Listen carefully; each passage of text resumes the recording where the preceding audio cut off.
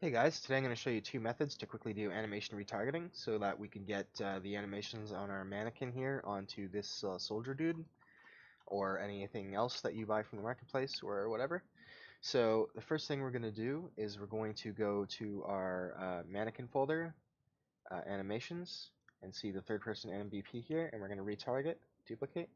Oh, nothing shows up. So first thing we need to do is go to our mannequin's uh, skeleton uh, in the mesh folder and uh, select the rig, select the humanoid rig, save.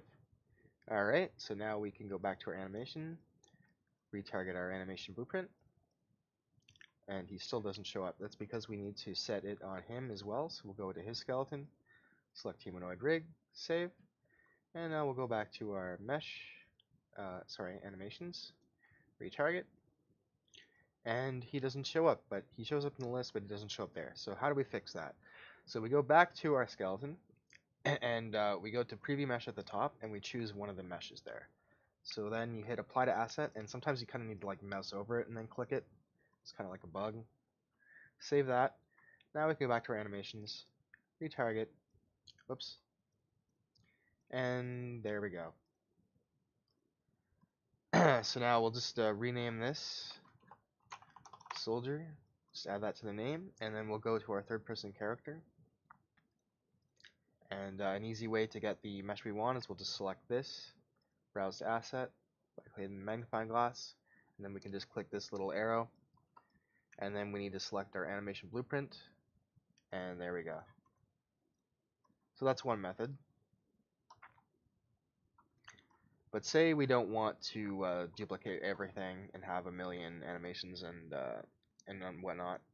Say we just want everything to be for that soldier. So that's easy too.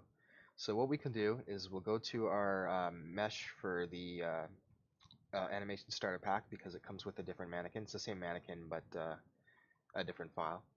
And if we hit view pose, we're going to see he's in T-pose. Now I set this up just to show you what happens if you get um, a mesh that's in T-pose, but uh, if you hit retarget, oh, we forgot to set a rig, so we'll set that, humanoid rig, now if we hit uh, retarget on the skeleton, then we can uh, we can see he's in a different pose. So to fix that, we just go to his uh, skeleton and uh, view pose, and we'll just move the arms down 40 degrees.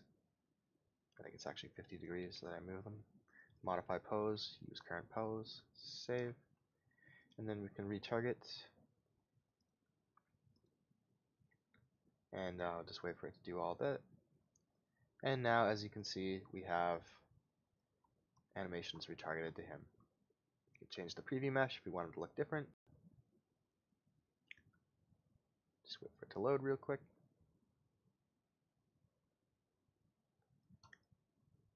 And there we go.